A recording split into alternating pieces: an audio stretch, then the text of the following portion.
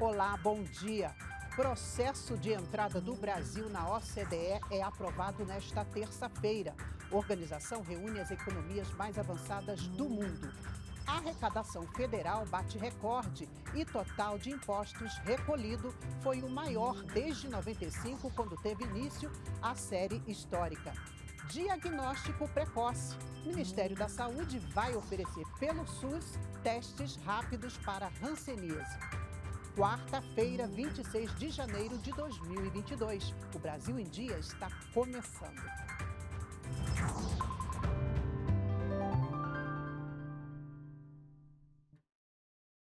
São 8 horas da manhã, estamos ao vivo também pelas redes sociais e também pela TV Brasil.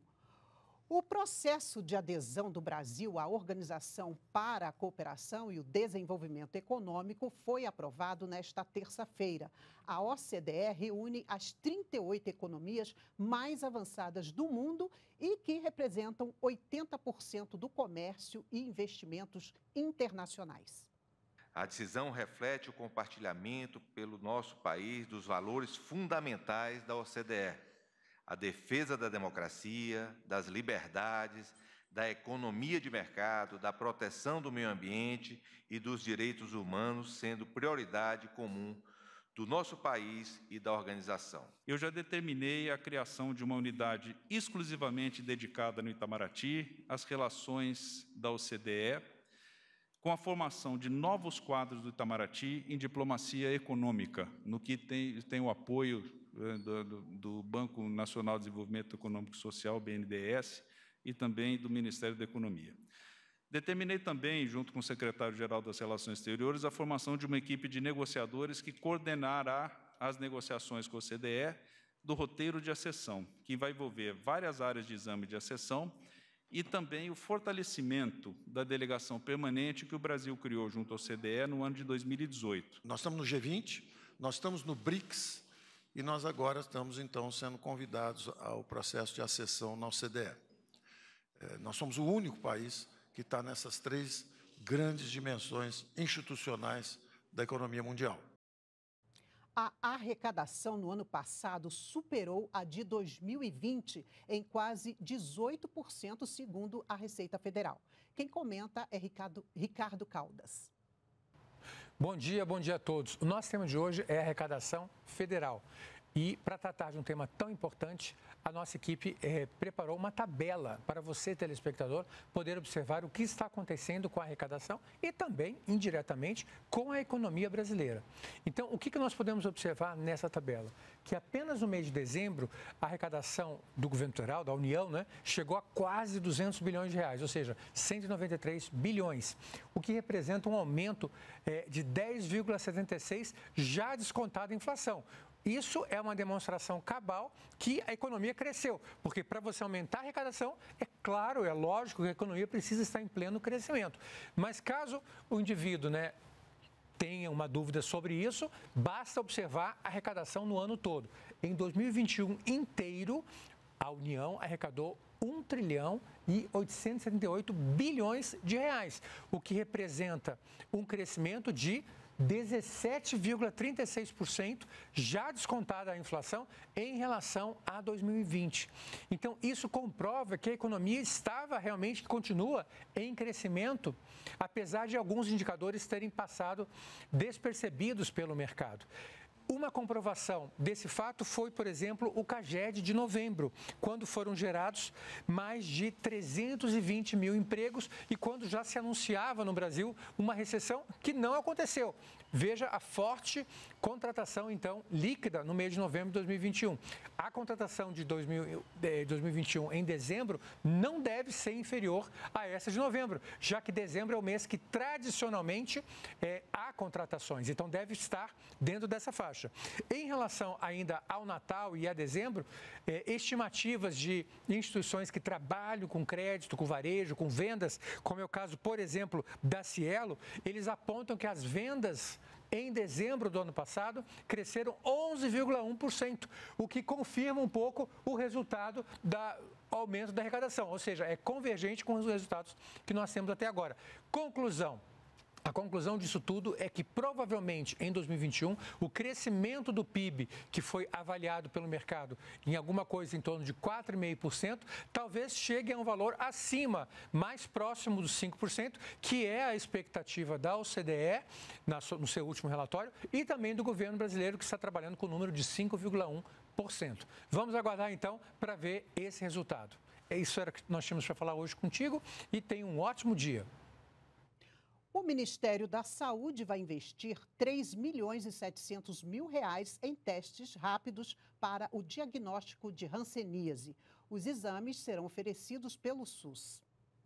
Neste ano, o Brasil vai contar com um reforço no diagnóstico da hanseníase, testes rápidos gratuitos oferecidos pelo Sistema Único de Saúde. O anúncio faz parte das ações do Janeiro Roxo, mês de conscientização sobre a doença. É o primeiro país do mundo a incorporar esses exames e oferecê-los gratuitamente à nossa população.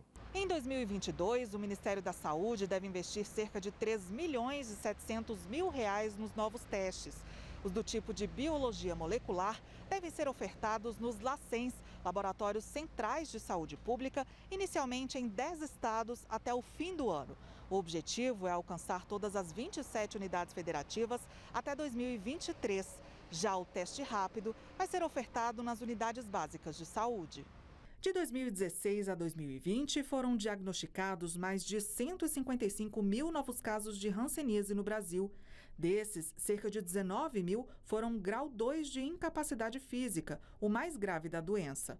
Os principais sintomas são dormência, formigamento e perda de força nas mãos, pés ou pálpebras e manchas brancas ou avermelhadas.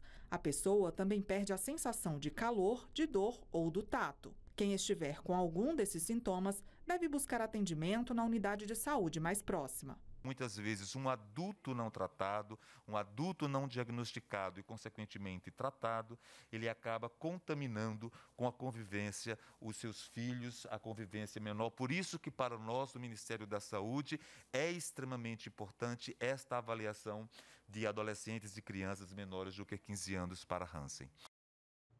Essa semana, nós estamos exibindo reportagens especiais sobre o novo ensino médio. Hoje, o repórter Glauco de Queiroz mostra como algumas escolas já experimentam o formato desde 2020. Oficialmente, as mudanças passam a valer a partir deste ano. Algumas escolas públicas do país foram escolhidas para implantar o novo ensino médio de forma experimental a partir de 2020. No Distrito Federal, por exemplo, 12 unidades já funcionavam com as mudanças desde o ano passado, 5 na segunda série e 7 na primeira. Em 2022, todas as 93 escolas estarão com o novo ensino médio implantado.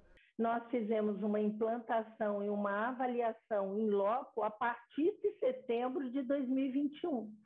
Então, ainda temos dados frágeis da implantação, mas vemos um despertar no nosso aluno de buscar o seu projeto de vida. As escolas particulares também são obrigadas a implantar o novo ensino médio a partir deste ano. Para isso, devem ter a proposta pedagógica aprovada junto ao Conselho de Educação do Estado. Algumas se adiantaram. É o caso da escola em que a Alessandra trabalha. O grupo de trabalho sobre o novo ensino médio existe desde 2017 quando já se pensava no novo ensino médio muito antes da legislação. E a maior dificuldade que enfrentaremos é, nessa implementação é realmente a conscientização né, dos nossos estudantes e a confiança de suas famílias nas escolhas que eles farão. No novo ensino médio, o aluno aprende o básico das disciplinas e escolhe uma área de conhecimento em que deseja se aprofundar. Por exemplo, se pretende ser engenheiro, pode cursar cálculo, se jornalista, matérias específicas de linguagens. Para educadores e estudantes que participaram do experimento, essa escolha será um dos maiores desafios daqui para frente, mesmo sabendo que é possível mudar o itinerário no meio do caminho. À medida que a gente também está avançando, eles estão acostumando, estão entendendo essa ideia do, do processo é, é, é, da semestralidade, estão entendendo esse sistema de créditos, estão entendendo é, é, a vantagem que é você poder escolher parte do que você quer trilhar Né? Então isso é uma coisa muito interessante. O novo ensino médio ele coloca o estudante como esse protagonista, como essa figura principal, tornando a pessoa muito mais crítica e proativa ativa dentro do seu próprio processo educativo. A figura dos professores ainda se faz presente e fundamental nesse contexto. O governo editou novas regras para aperfeiçoar a Política Nacional de Resíduos Sólidos. Entre as medidas estão a criação do Programa Nacional de Logística Reversa e a simplificação nas ações de gerenciamento para municípios com até 20 mil habitantes.